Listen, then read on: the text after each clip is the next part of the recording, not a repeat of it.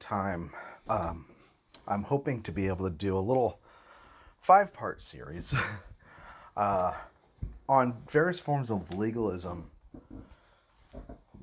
Um, there's legalism surrounding justification, there's legalism surrounding sanctification, there is legalism uh, that surrounds culture, there is legalism that surrounds concepts of reward.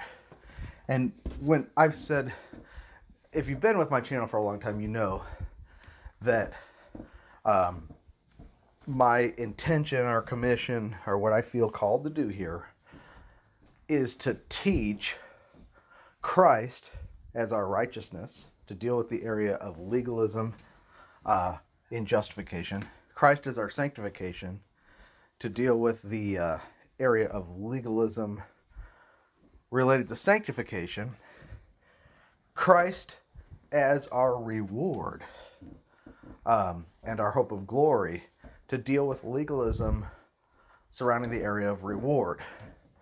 Uh, the enemy has erected belief systems that are erroneous around each of these areas of the Christian life. And I, I always say I triggered all the traps in Christianity. And uh, in each of these areas, you can fall into legalism and bind your conscience. Um, and one of the reasons why we had to deal with these things is because they appro- they affect our confidence before the Lord and our abiding in Him and our readiness for His coming. Uh, like John said, now little children, abide in Him, so that when He appears, you may have confidence at His coming and not shrink back in shame. And we are to hold fast to that what which we have and guard our crown. Let no one steal our crown. And let no one carry us off as spoil. And let no one um, defraud us of our prize and judge us unworthy of it. We're to hold on to what we were given. And that is the power uh, for uh, justification and sanctification. The gospel is the power of God unto salvation for those who believe. On the one hand, by believing the gospel, we were justified.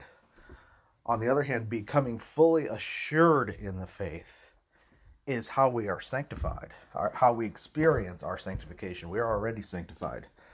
But there is an experience of sanctification which is probably better called renewal or washing. And it's by the word and it's through faith and it's by the spirit. And it has to do with becoming fully assured that what you received in the beginning the, through the gospel is really the power for the christian life. And what you received is christ himself. Christ becomes your life. So it's still a matter of faith justification is by faith sanctification is by faith and it is a matter of seeing what christ accomplished for you believing in it, and then even getting to the point, where you're so fully assured that you're rejoicing in it. And that rejoicing is your crown. And that crown is your confidence at his coming. Because you've been perfected in the love of God. His love has cast out fear. You're fully assured in the faith, and you're running boldly towards him, not shrinking back. Because a damaged conscience that comes through sin consciousness by the law uh, causes you to shrink back from God in a spirit of bondage and fear, which is likened to death in, in Romans 8. Um, in contrast to the bold coming to God that is likened to life and peace in Romans 8 and the spirit of son in the spirit of sonship which testifies that you are a son of God and an heir, and there's no condemnation. And who is he that'll judge? God is the one who justified you. There's no accusation laid to your account. You are free to come forward boldly. There's no obstacle keeping you from the presence of God. And the presence of God is what the gospel brought you into. The gospel brought us to God by bringing the Spirit to us. didn't just qualify us for heaven. See, that's what many people believe. They believe that we are justified by faith, which means they're going to heaven when they die, or their salvation is eternal. But they don't quite see that justification qualified them to enjoy God as the Spirit, and that brought it brought them into Christ, who is made unto us wisdom from God, righteousness, sanctification, and redemption. Redemption is the hope of glory. And how we approach God today in boldness is has a direct bearing on how we will approach him when he comes, apparently. So all the apostles admonished us to be in a certain kind of condition when he comes. And we don't know when he's coming. But we want to be found without spot. We want to be found confident. We want to be found fully assured in the faith. We want to be found without offense, filled with the fruits of righteousness, which are by Jesus Christ to the glory of God. And that comes from a life of the effectual acknowledgement of every good thing that's in you in Christ, that, which is called fellowship. Fellowship is just the acknowledgement and the rejoicing in what Christ has accomplished for me, what he's provided. And then based on that, I boldly come to God knowing there's no obstacles. See, I don't let my sin and my foolishness and my flesh stand between me and my God. The blood is the answer. And I come forward by faith in the blood. That's what the book of Hebrews is all about that God takes no pleasure in those who shrink back, right? But the things that accompany salvation are for those who, by faith, with boldness, approach God's throne. We have access to the throne of grace. We don't call the blood an unclean thing. We realize that it is secured. Boldness before God and entrance into his presence, into the holiest of all.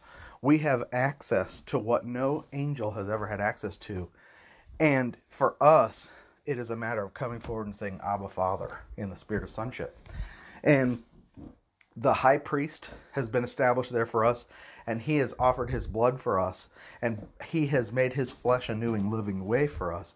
And he says, Come near with a heart of full assurance of faith, sprinkled from an evil conscience, and having your body washed with pure water and that pure water is the water of the Word, which renews us in the knowledge of what Christ has provided for us and causes us to participate in Him, which is called fellowship, in a way of rejoicing. And we say, Thank you, Jesus. Thank you, Jesus, that though I'm weak and I'm foolish and I am this and that, I don't have to go look for dead works or another sacrifice to make a way for me to come to God. I can come boldly and receive mercy and find grace to help in time of need. Because I have a high priest who's my advocate, my propitiation, and he's my offering. And when I come near, I am sprinkled with his blood, which is in the eternal spirit. Uh, according to Hebrews 9:14, he offered himself up through the eternal spirit, and so his blood can purge our conscience from dead works to serve the living God. I have the access to approach the living God, and when I do, I'm sprinkled with the blood and washed by the word which I'm renewed with in faith as I acknowledge what Christ has done and come near to God based on that. And that's what eating and drinking is all about. You know, we talk about eating and drinking, and Christ is our bread. And he said, and he's also our uh, living water.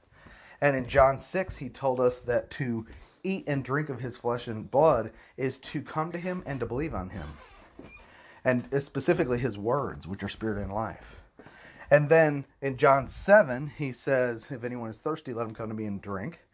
As the scripture says, He who believes on me, out of his innermost being shall flow rivers of living water. There's water, the cleansing. How do we get the water? Well, we come forward. He says, If you come to me and drink. And how do we come to him? By believing he who believes on me. So when we come in the full assurance of faith, we come forward boldly to the throne of grace. We partake of the living water that's flowing out of the throne of God and out of the Lamb. and we are washed. We don't have another way to be washed except to come near to God by faith, uh, based on the accomplishment of Christ. There's no such thing as holiness apart from that washing. Holiness is not a matter of perfecting yourself in the flesh according to the works of the law. Holiness is not a matter of abstaining from this and partaking of that. Holiness is a matter of coming near to God. Because the altar was sprinkled with the blood, and whatever touched the altar was most holy. Holiness has to do with our union and our participation in our union with Christ. He is the Holy One. You know, he said to the Pharisees, What sanctifies? Is it the gift that sanctifies the altar or the altar that sanctifies the gift? Because they thought that it was the quality of the gift they offered that made it holy. But his point is no, the blood sanctified the altar, and whatever touched the altar is most holy because the altar is holy and he is our altar. And we're holy because of our union with Him, nothing else. He sanctified us in His own blood.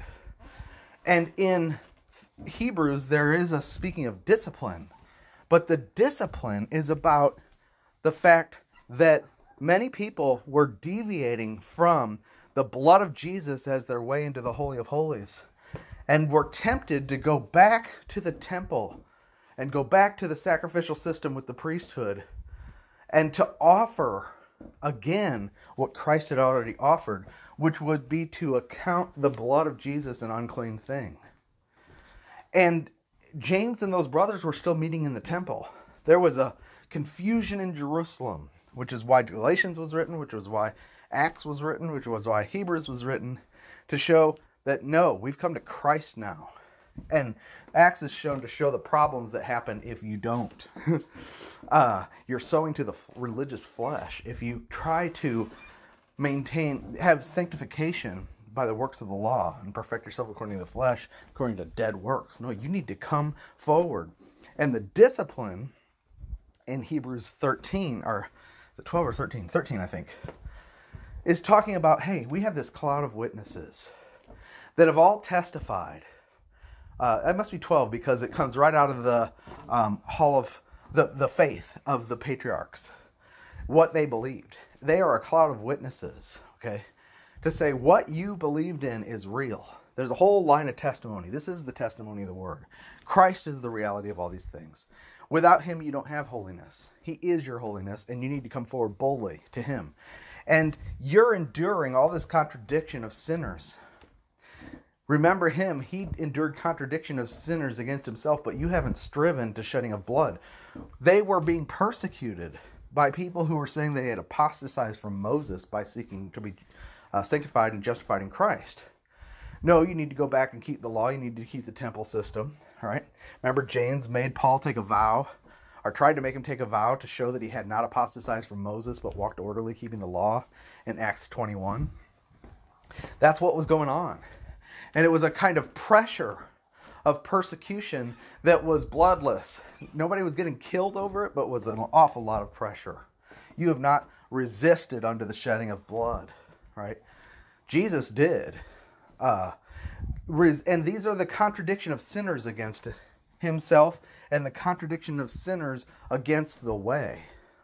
See, the, those who are loyal to the law are the sinners that contradict the way and persecute those who are the faith. And now the people who are being persecuted, their arms were starting to hang low. They were starting to get exhausted. They were starting to get worn out. And then he says, in the midst of that, don't despise the Lord's discipline. What is the Lord's discipline?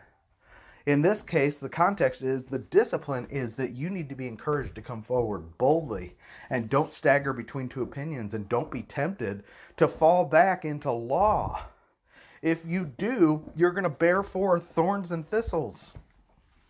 He said in Hebrews 10 uh, and 6, I think. 6. So there's this admonition all the way through Hebrews that you have to make a bold decision to say Christ is my the reality of everything. He is my justification. He is my sanctification. I need to come forward boldly based on the acknowledgement of what he has done. Okay. He is my Melchizedek and he has the bread and wine behind the veil in the Holy of Holies, and that bread and wine is my life. And if I don't have it, I have no strength to overcome sin or do anything. Okay? So we need to come forward boldly, and God has no pleasure in those who shrink back. And to come forward boldly is to enter his rest. To be in faith is to cease from our own works and to serve the living God. You are not serving God if you're trying to perfect yourself according to the law and by dead works. Only the blood of Jesus sanctifies. And you need to come forward boldly and dwell, learn to dwell in his presence and enjoy him by faith in what he's accomplished not based on your feeling, but based on what you believe. And so Hebrews talks about coming into the full assurance of faith, which is the same thing as having your conscience perfected from evil, uh, an evil conscience. So we need to have our conscience perfected and then even be perfected to the point where we have no more consciousness of sin. Which means I am not always focused on my sin and overcoming sin. I'm focused on Christ. And as I do, he washes me. You say, How do I know He washed me? Because the Word tells me that. If I come to Him and in faith, I'm washed. Now, we are legalistic, so we go, Well, I don't feel washed. That's called mystical legalism. And we base everything on our feeling. I still feel defiled. Well, that's because you're in unbelief. But if you get over into faith and start preaching the gospel to yourself, you will experience a breakthrough from that spirit of condemnation, that spirit of death, that spirit of slavery and fear that's gripping you from the flesh. And some people won't do it.